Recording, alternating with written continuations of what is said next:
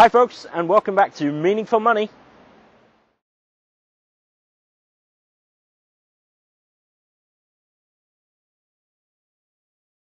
Here I am at the bottom now of a Drift Dam.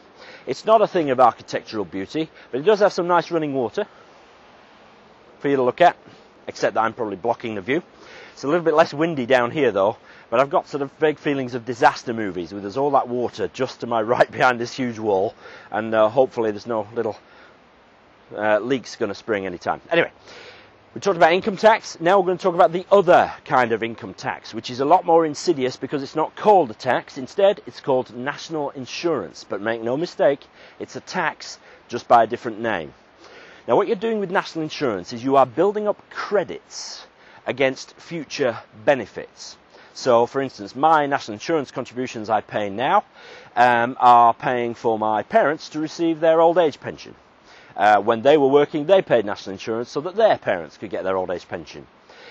Um, likewise, my nas- current national insurance uh, uh, payments, contributions, are indirectly funding, for instance, for my wife to receive uh, child benefit. Right?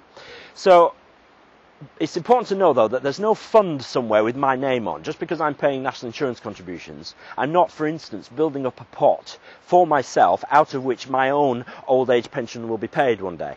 No, there's no fund as such. Well, there is, but it's kind of a short-term moving fund. My contributions pay for those who need benefits now, right? But it's a tax by another name, that's all. But an important one.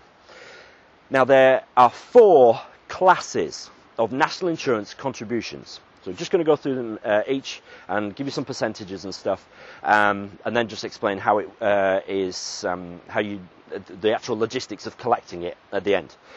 So class one national insurance contributions are for employees and employers. So those who have a job working for somebody else and for those who give them that job. And it's all based, and the amounts that are contributed are based on how much you earn as the employee. and it goes in three bands. I'm going to move slightly to this side, hopefully to make room for the graphic again. Lots of graphics on these taxes, I'm afraid, but uh, hopefully it, it uh, eases the explanation. So on the first £110 a week you earn, dealing with what you pay as the employee first, you pay nothing. It's a nil rate on the first £110 a week. On the income you earn between £110 a week and £844 a week, you will pay 11% national insurance. On the income you earn in excess of £844 a week, you will pay 1%. So three bands, three different rates. Now your employer on the first £110 a week will pay nothing, same as you. But on everything above £110 a week, your employer will pay 12.8%. So it's an expensive tax for employers to pay. That's class one national insurance contributions. There are subclasses in there, but I really don't want to make things more complicated than it's necessary. Things, uh, different class for uh, what employers pay if you have a company car and things like that, or what they'd pay if they've been investigated by the revenue. There's different classes for that, but class one as a whole is for employees and employers. Now, class two is a fixed contribution paid by those who are self employed not employees now, those who are self-employed. So if you decide to become self-employed, you must notify the revenue and they will set up a direct debit and you begin paying £2.40 per week. Flat, fixed rate. And that just, you know, assures your credits against future benefits. That's dead straightforward. Class 2, self-employed, £2.40 a week. Job done. Class 3 uh, national insurance contributions are voluntary ones. Now, why on earth would you voluntarily pay a tax? Well, uh, let's say you don't have a complete uh, national insurance contribution record, which means you might not get a full state pension. Well, you can voluntarily pay, um, and there's a flat rate for that as well, and uh, that is currently £12 and 5 pence per week.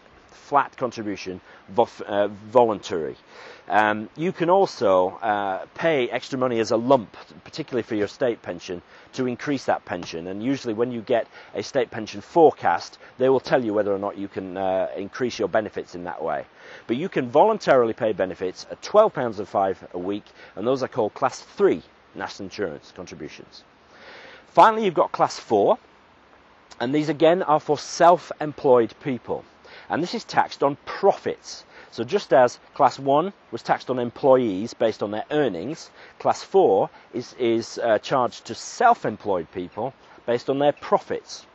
So on the first £5,715 per year of profit, there is no national insurance to pay. Between 5,715 and £43,875 of profit, there is an 8% uh, national insurance to pay. And on profit in excess of £43,875, there is a 1% national insurance contribution to pay. So again, pretty simple bandings. The, the, the, problem is, and certainly for people in my job and accountants and things like, is that we have to remember all these different percentages for different people. But you know, don't feel sorry for me. That's uh, what I chose to do. So those are the different bandings for national insurance contributions. Now, how does it work? How do you, uh, what are the mechanics of actually contributing? Well, the good news is, if you're an employee, you never see any of this money anyway because it's all sorted out through the pay as you earn system and when you get your pay slip you will see income tax national insurance and what you get in the bottom right hand corner of your pay slip it's all done for you so you don't have to worry about making sure you pay enough it just all sorts itself out for you same with income tax if you are self-employed and you have to pay class, pay class 4 contributions based on your profit, well that's done through your annual tax return.